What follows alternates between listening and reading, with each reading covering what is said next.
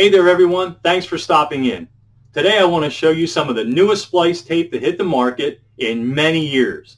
It's called double edge splice tape and I'm going to show you how to use it today with our table mounted multi-jig which handles 8 to 72 millimeter tape. The tape I'm going to show you is specific to emitter and receiver type smart feeders that you'd find on Panasonic, Yamaha, and the new Juki machines. So let's go watch the video together. We're going to start out cutting our 8 millimeter tape using a scissor type cutter. This cutter has 4 millimeter pitch pins and 2 millimeter pitch pins for guiding the tape for a perfect cut.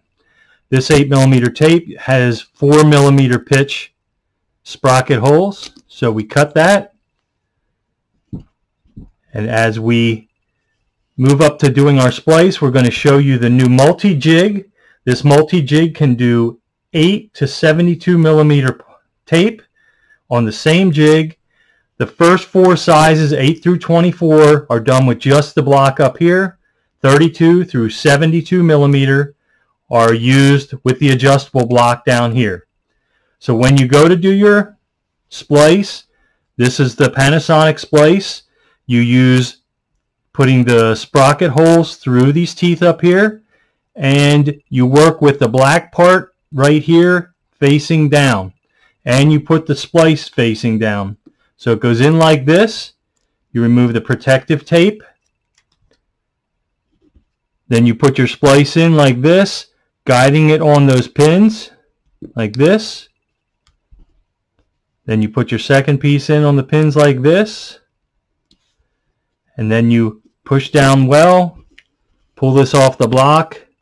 When you do that, again, you have the perforations here to give you a perfect alignment.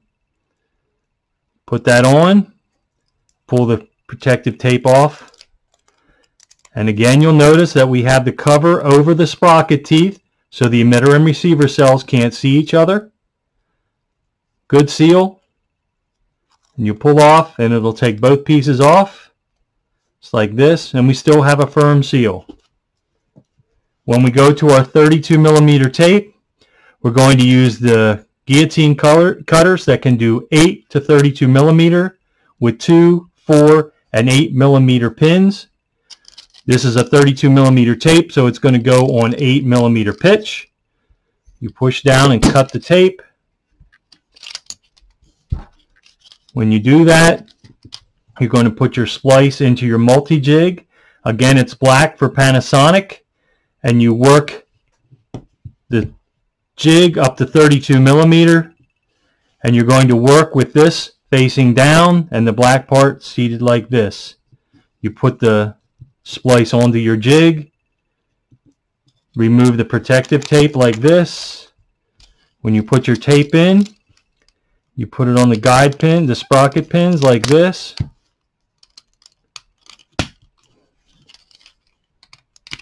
It gives you perfect alignment. All you do is pull this all off. This side goes over and covers the sprocket holes like we've done before.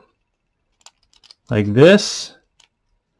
Again, you have the self-alignment on this side, so all you do is pinch it in. It'll self-align, go right over the sprocket holes. Once you have that on, you pull the protective piece off.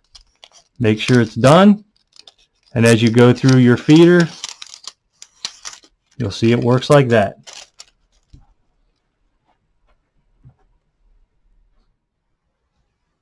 I want to thank everybody for stopping by the classroom today. Please remember that Smart Splice is the only full-service tape splicing company in the industry, and we back that claim with video meetings, webinars, and even a personal visit from yours truly, Professor Splice. All you need to do is contact me at the university or right here. Thank you.